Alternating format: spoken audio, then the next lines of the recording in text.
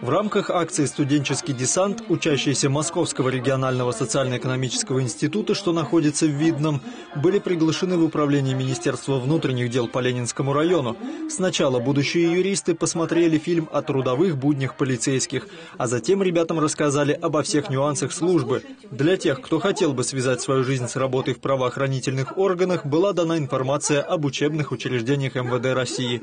Представитель госавтоинспекции Ирина Чекмарева выразила благодарность студентам за их участие в акциях по пропаганде безопасности дорожного движения и напомнила о важности использования световозвращающих элементов для пешеходов. Предположим, сумка со световозвращателем, либо это световозвращающие вот такие вот браслетики, да, я могу еще раз. Они очень удобны, почему? Потому что они вот защелкиваются на одежде сверху. Также перед собравшимися выступил представитель казачьей народной дружины, которая на территории нашего муниципалитета помогает сотрудникам полиции обеспечивать безопасность населения.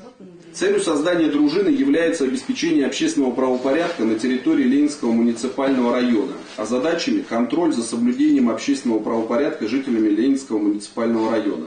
Затем ребята посетили тир, где инспектор по вооружению рассказал об использовании боевого оружия и основных средств защиты.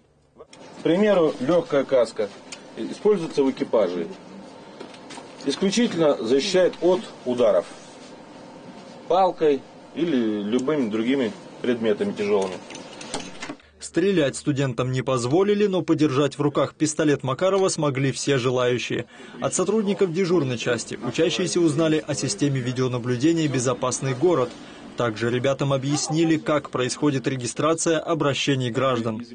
Мы распределяем уже по экипажам, определяем, что за сообщение поступило и кого необходимо направить.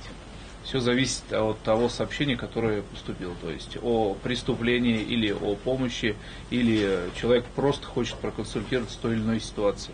В завершении экскурсии студенты смогли увидеть изолятор временного содержания, где находятся подозреваемые в преступлениях. Может быть, теперь, ближе познакомившись с профессией, кто-то из молодых людей выберет на будущее работу в полиции. Она тяжелая эмоционально и в моральном плане, и не каждому человеку это будет, скажем так, дано. Узнал про казачье общество, а, был интересный фильм про сотрудников полиции, и также в будущем э, планирую стать сотрудником оперативного отдела. А в настоящий момент ребята принимают поздравления с Днем российского студенчества. Дмитрий Книга, Николай Карбанов, Елена Кошелева, Видное ТВ.